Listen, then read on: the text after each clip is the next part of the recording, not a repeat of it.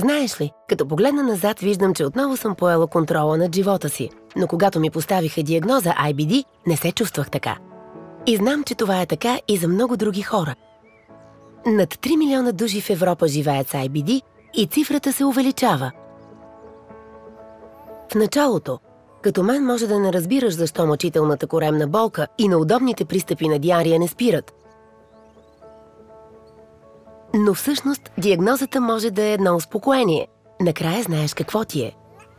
Може бързо да се притесниш от многото въпроси. Да се почувстваш гневен и оплашен. Ако не знаеш какво да предприемеш, поговори с лекаря си. Твоята диагноза е първата стъпка, за да вкараш живота си обратно в релсите.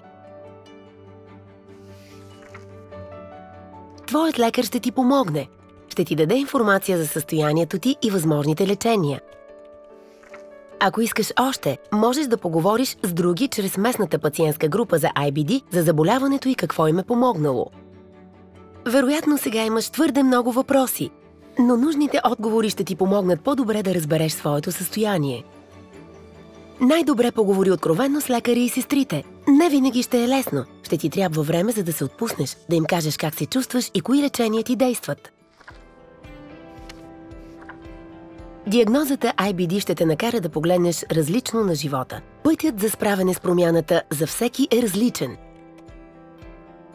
Остани близък с приятелите, семейството и партньорите си. Те може да са притеснени или твърде покровителствени, но вероятно искат просто да помогнат. Може да ти се струва в повече, но като им кажеш за IBD и им помогнеш да разберат какво означава, те ще ти помогнат за промените в начина ти на живот. Когато откриеш какво работи при теб, сподели им и можете заедно да го приложите. Научи се да приемаш всеки ден сам за себе си. Не винаги е лесно да приемеш промените.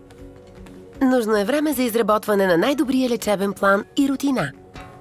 Това е процес на изключване. Трябва да опиташ различни неща.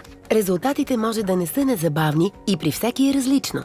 След като лечебният план бъде въведен, тестовете ще ти покажат как се справяш и дали симптомите ти са овладени.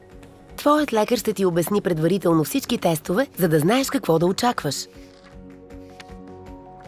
Като пациент имаш право на индивидуализирано лечение, за да имаш най-добро качество на живот. Затова работи заедно с екипа специалисти, за да намерите най-добрия план. Дори и да се чувстваш така в началото, ти не си сам. Твоите лекар, семейство, приятели и местни групи за подкрепа ще ти помогнат в пътя ти след диагнозата. Те са тези, които могат да ти помогнат да постигнеш целите си. С правилната диагноза, лечение и подкрепа можеш да постигнеш това, което искаш от живота и да планираш бъдещето си. От влизане в университета до парти на приятел, от домакинстване до пробягване на маратон.